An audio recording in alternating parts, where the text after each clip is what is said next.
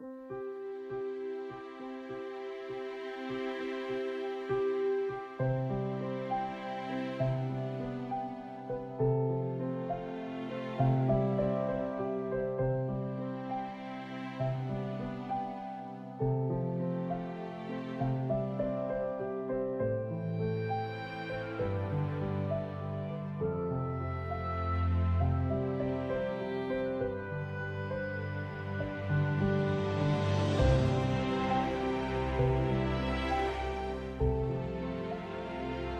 know, I really think artists are born and not made. All of my life, I was the kid who was, you know, had the crayons or the chalk on the sidewalk or the paint by number set, and uh, it's always been something that's in me. I would ask around and no one would teach me how to paint.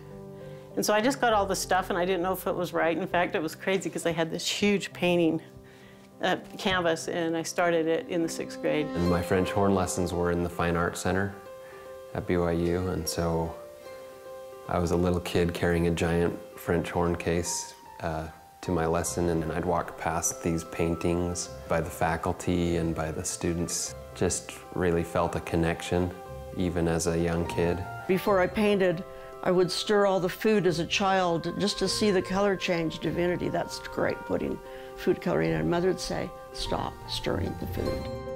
I, I, would stay up till three painting. My parents couldn't get me to go to sleep.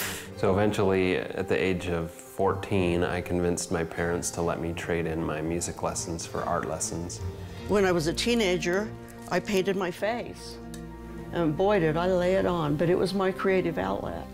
It's the only occupation I've ever had is uh, that of an artist uh, and maybe mowing lawns. I decided to take a art class for an elective. Once I took it, I realized, yes, this is what I want to do. I couldn't paint worth anything. I was really pretty pitiful. And people would say, well, how are you going to make a living? Well, I never thought that I wouldn't be able to make a living. So I just looked at him and said, well, the same way I always have, you know, I'll work hard. I was a wildland firefighter for a little while. I was a ski bum in Steamboat Springs for a little while. And the whole time I was painting. Painting in general, I, I've always done it since I was a little kid. I think I was born with it. I got a job teaching junior high school in California and taught there for five years. At the end of which I realized I was either going to be a really good junior high school teacher or I was going to be an artist. But I didn't think I could do both. I was uh, in kindergarten class and we were supposed to be drawing dinosaurs. And of course, at that age, at five years old, I knew all of the dinosaurs and I knew how to draw them all. I looked around and the entire class was in back of me looking at what I was doing, and the teacher was there also. Just seemed to me, in my, in my mind, that she, she was in awe of, you know, what I was doing. And she complimented me and said oh, it was great and wanted the class to, to make sure to see how I was doing it and, and that sort of thing. And I decided that day I was going to be an artist. I remember it as clear as anything. And I never looked back. My name is James Christensen. I'm an artist. I have recently become part of a rather unique experiment called Illume. It has two meanings. It can mean resplendent enlightenment, or it can mean spreading the light. This art gallery is unique because it's the only gallery I've ever been involved with that has the artist sign a mission statement.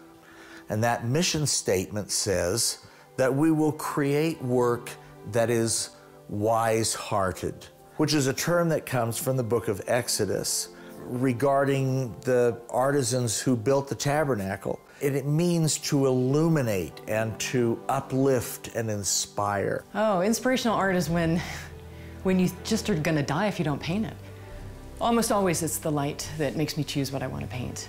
Maybe I'll even have in mind where I'm going to go to paint, and I'm, I'm going in that direction that morning. And I'll see the light hitting something else, and I'll just go, that's it, I have to stop, I have to paint. If I don't paint this right now, I'm just not going to be able to survive. Well, I think inspirational art is art that lightens somebody's life. When they view it, they view it and, and it enlightens their soul. or enlightens their spirit, and they can feel the spirit of the painting. Spiritual doesn't necessarily mean uh, religious or scriptural. I'm not sure I've ever thought of old barns enlightening the souls of people that buy them. I'm not, but apparently there is something that about that that they have a spirit to them.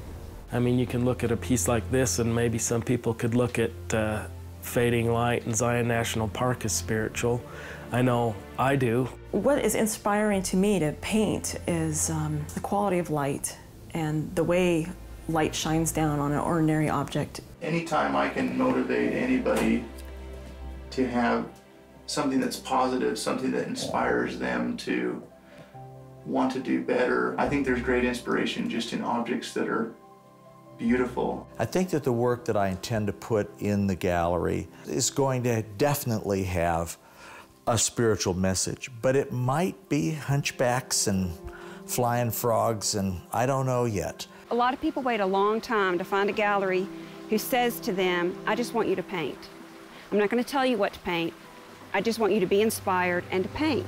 I had been thinking about this for a long time and actually wondering why art of a spiritual nature has never really been organized. There's never really been a venue for uh, someone to kind of reach inside their soul and say, what do I really believe and how am I going to express that? We've now got all of these artists painting what they love. One of the artists I talked with last night really put it well. She said, you know, this has changed the way I go about creating my art. I think that if someone paints something well, that it's just inevitable that the human eye is going to see that and register it as truth. You will see what is beautiful to those artists.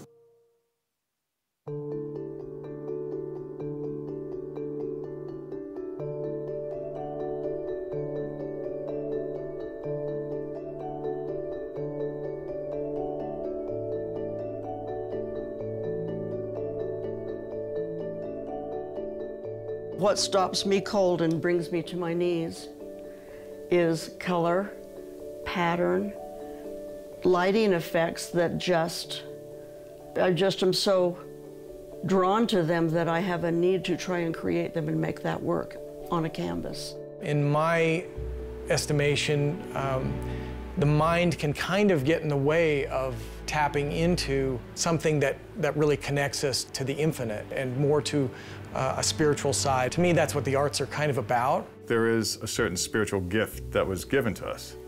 But everybody growing up has that. It's just we have it at different levels. This is a visual gift I can, I can share with the world. No, I do believe that the gift I have is a gift from God. We are all put here for some reason. And I believe that there's more to us just than to live our lives in a wholesome manner. I think that we're also here to, to go beyond that. And I think one of my gifts is to be able to create, to paint and light other people's lives that same way. The source of the gift is, is from the Spirit. It's from a higher source. And, uh, and that's humbling. And that's all the more reason why we need to be sincere and honest and, and pass it on. I think it's uh, a, a, unique opportunity uh, for artists of faith uh, to be able to share um, their vision and their insights and their work um, without having to be necessarily scriptural stories or illustrations of past scriptural events. I don't paint that way. But the work I do has messages, it has layers of meaning, and sometimes the message is a little obscure uh, and you have to work for it a little. Uh, and sometimes it's you're chuckling, but then you realize, whoa, that's me or that's an important thing. You know, when I'm in a painting, there's nothing else. I was painting, in fact, on the side of the road, and I was so involved in my painting that a policeman with his siren came up behind me and stopped because he wanted to tell me to move off the road because I was going to cause an accident. I didn't hear him till he was right on top of me. He like had to go, miss, you know, tap me on the shoulder. I was so involved. I didn't hear a siren stopping behind me. It's such a part of my existence that if I'm not painting for a few days, my daughter will tell me I better get into the studio because I'm in such a grumpy mood. We take the elements of art and you take line and form and color and direction and texture and all of these things and you take all of these elements combine them in a, in a, in a way to communicate. And when i think of the creation of this world that the savior took um, the elements that were there and organized them to be this world. And that's what i feel like i'm doing. I'm taking elements that are floating around out there and I pull them together and my job is to create something that will communicate and, uh, and art certainly does communicate. The painting can communicate. It has its own kind of intelligence and I, I just have to be very sensitive and aware as an artist to, to work with it. Uh, not, not force it, but but work with it and, and what it ends up being. That's a real pleasure for me to, in the end, look at something that I've done and say, I couldn't, I didn't plan that. I allowed it to, to occur, but I, I couldn't repeat it. I couldn't repeat that mark. I couldn't repeat that, that color, really. What's in your heart comes out. It's either going to come out of your mouth, it's going to come out on your paintbrush, it's going to end up in your work. The scenes um, inspire me, but I'm in love with my medium too. I love the way oil um, comes off the brush. I, I love the way you can work it over and change it. So I'm inspired by my medium as well as the scenes out there. Art really has the ability to bring an emotion back to you as you look at it. I find that I buy pieces that I'm emotionally connected with. I look at an old farmhouse down a long rural road and I see my childhood and the memories of my father and mother and how I was raised. So each piece of art has an emotional connection to it. Standing in front of a, an original oil painting is an experience you can't have any other way. They see, sense something, they, they react to something uh, that touches them in, in some way. Uh, what we're saying is that there may be spiritual uh, connections there President Hinckley made a comment to me personally one time that one of the purposes of art is that it carries a spirit within it. The artist actually places a spirit within the paint. And I really believe that that's true.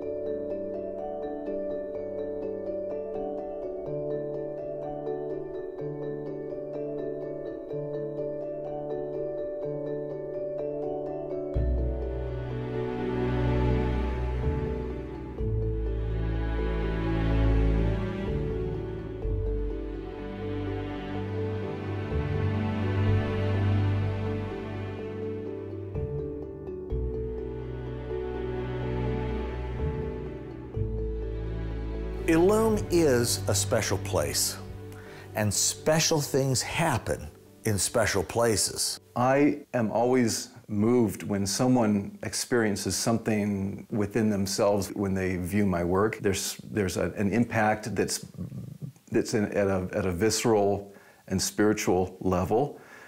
And I'm grateful when anybody even stops to look at a piece of artwork let alone stopping long enough to think about it. But I hope that people who see the work will find in it something of a, of a sacred place. When I first started as a professional artist, I would do horses, Western art, uh, birds of prey.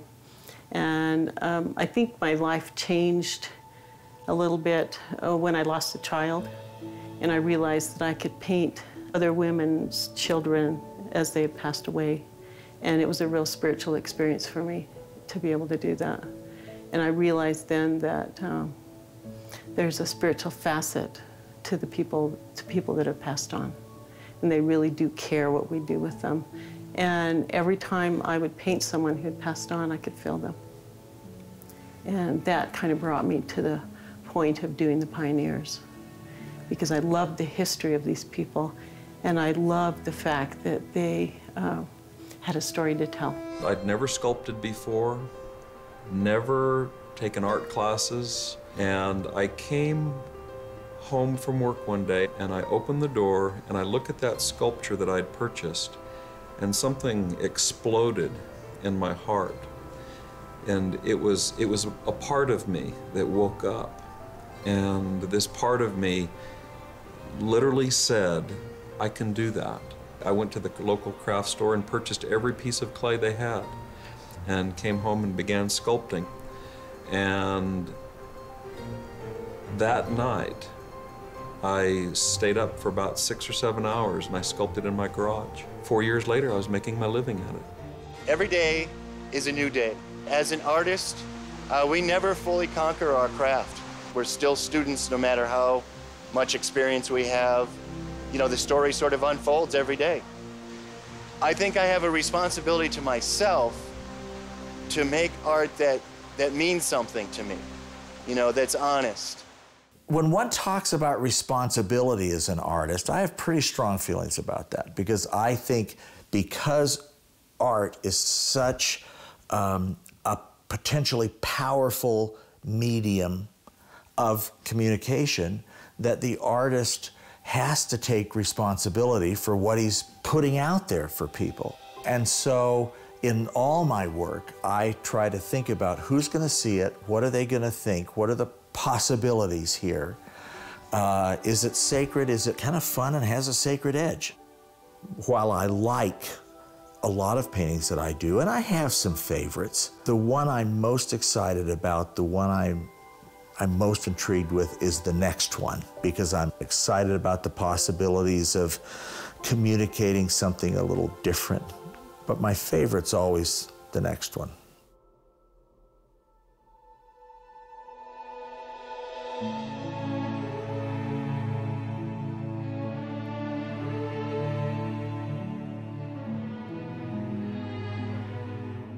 The other night, when I was um, alone, it was late.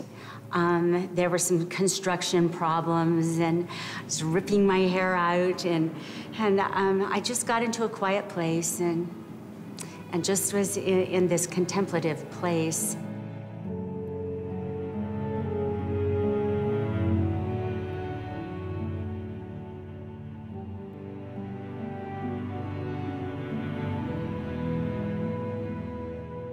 There was a light on one piece. I turned off everything else in the gallery and just had lights on it so that the homeless people outside the windows could not see me.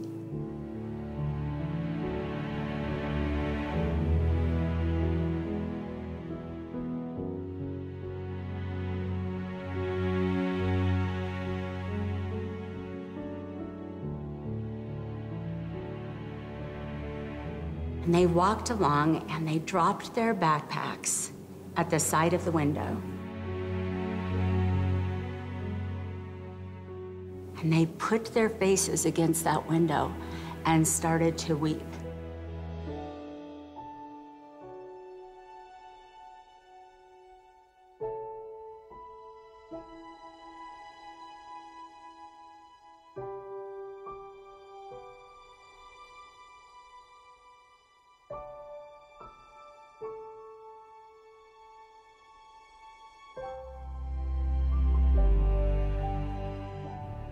All of us welcome anyone into the gallery, um, whether they're at the top of the financial realm or at the very bottom. It matters not a thing to us. They are the same.